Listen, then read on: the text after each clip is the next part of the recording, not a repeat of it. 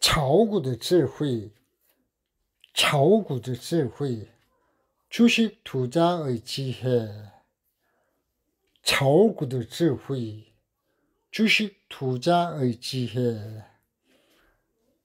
이건 책 제목입니다. 중국 복권성 출신의 월스트리트 주식 투자 전문가, 전업 주식 투자자 중국인 천장팅이 찐 책입니다.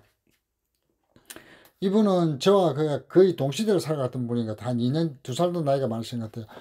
복권성에서 교통대를 나오시고 상해 교통대를 나오시고 미국으로 유학을 가서 미국에서 대학을 나오시고 여러 가지 업을 하시다가 전업 주식 투자자가 돼 가지고 이렇게 25년 동안 갖다 전업 주식 하셨대 25년 그리고 어느 날 고향인 복권성에 돌아와서 보니까 사람들이 이렇게 너무 막무가내로 주식 투자하는 거 보고 그 안타까워서 그분들을 위해서 책을 쓴 게이 차오구드 지후이란 이런 책이랍니다.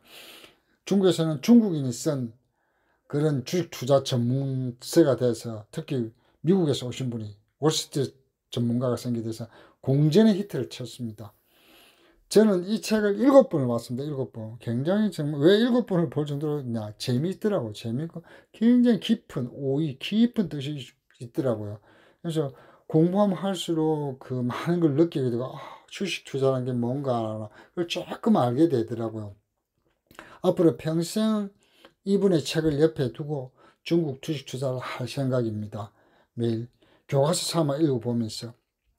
그래서 여러분들도 제가 이렇게 표현하고 있는 이런 중국어들, 가르친 중국어들을 보고 열심히 배우셔서 한번 이분의 책을 원어로 읽어볼 수 있는 그런 기회를 가졌으면 좋겠습니다. 예. 그래서 제가 이분을 소개하고 있습니다. 자, 그리고 구독해 주세요. 구독은 여러분 저에게 큰 힘이 됩니다. 제가 열심히 할 수 있는 힘이 됩니다. 구독